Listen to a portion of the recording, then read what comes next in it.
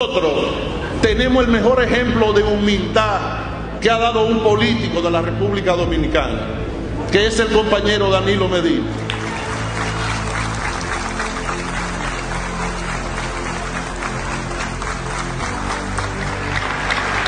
que siendo presidente de la República llegó donde nadie había llegado, que se iba los fines de semana moviendo cuerdas de alambre, cruzando charcos, cruzando ríos, caminando para ir a lugares donde nadie había llegado.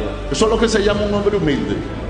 Eso es lo que se llama un hombre humilde. Nosotros no tenemos una referencia para asumir actitudes de soberbia, sino todo lo contrario.